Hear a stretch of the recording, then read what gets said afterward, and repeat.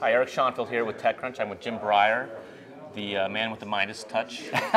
Thanks. The partner at, at Accel and on the board of Facebook, News Corp, Walmart. I'm missing Brightcove, yes. Dell. Dell. Yes, yes, you're a busy man. Uh, so, what are you really excited about now? Like, when you're looking at, at uh, you know, all the companies that come across your transom, are there certain areas that you're particularly excited about? Are there areas that you feel are played out? Mm-hmm. Uh, well, I think when you can marry personal passion uh, and just intuitive love for certain segments or businesses or entrepreneurs, it makes the investment business that much more interesting. There's always a tough day, there's always a rough day, uh, no matter what the company. And if there's a love for that kind of uh, technology investing, if you will, uh, it makes it a lot more interesting. So some of the areas we're very focused on would be uh, at a high level, social, mobile applications and services globally, and so we spend as much time focused on China as we do the United States. In fact, we have more partners today in China than we do right. in Palo Alto. Uh, very focused on Brazil, for instance. I just returned from a week in Brazil where we were looking at applications built upon the emerging social networks, which, uh, pleased to report, Facebook is one of them. Uh, very focused on the intersection of media, technology, and consumer commerce. And I think that there are enormous opportunities for entrepreneurs in areas such as next generation social TV, mm-hmm. Uh, next generation entertainment applications, again, that are very fundamental and integrated with the social networks.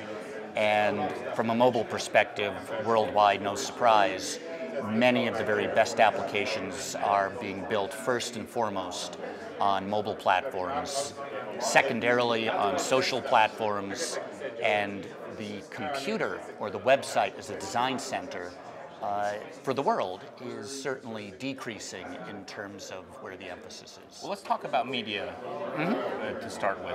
Uh, I think there's a lot of changes that are, are happening because of technology and media, both on the production side and on the consumption side. So maybe we can tackle those uh, from two different angles. Uh, Jeffrey Katzenberg was here yesterday, he was talking about you know, just how they're trying to speed up the, the time to render an animation so that it doesn't take eight hours to do a three second piece of animation, but they could do it in real time.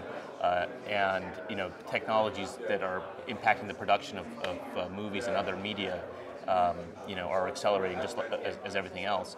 So, do you see media companies getting a competitive advantage from, you know, harnessing the right technologies? And is it just the high-end movie movie companies, movie studios, or is it everybody? Well, I think with Jeffrey and some of the well-capitalized studios, 20th Century Fox, Time Warner, uh, they will get some advantage from using new technologies to, to drive experience. 3D is going through a phase where it's certainly overrated for some period of time, but 10 years from now, 3D will be very fundamental, mm-hmm. perhaps as fundamental as HD. However, what gets us really excited as venture capital investors is looking at how many of the new video immersion experiences, video technologies, are intersecting social networks and allowing the consumption in ways that we would have never expected.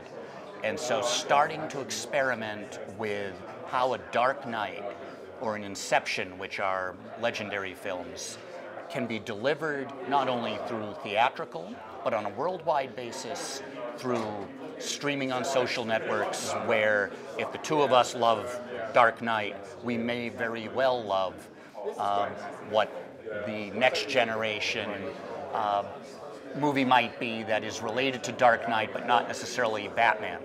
Uh, that kind of tapping into social networks, social interests, and allowing that experience to be very seamless, uh, to me, is where a lot of not only large studios, but perhaps even more importantly, many independent filmmakers can really see a great benefit from some right. of these new technologies and an ability to reach audiences that would have been impossible when it was large distribution deals in the past. Right. So you're talking, you're, you're getting into the consumption side, which I think is the more interesting part of it. Uh, it I always wonder. You see a lot of these uh, demos and, and small startups that, that, do interesting things with like augmented reality, right? I mean, yesterday we had uh, uh the CEO of Autonomy show.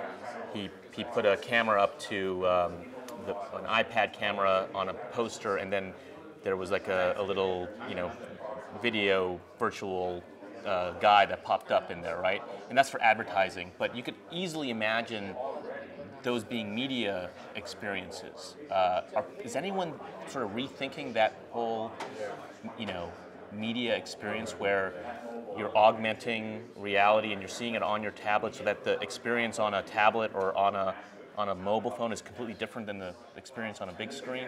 There are a lot of entrepreneurs thinking that through right now. And the technology, in some cases, uh, either is being pushed very hard or is in labs. And they might be at very large company labs. In fact, we've seen some brilliant technologists who are at some very large technology companies that have really pushed the leading edge on this.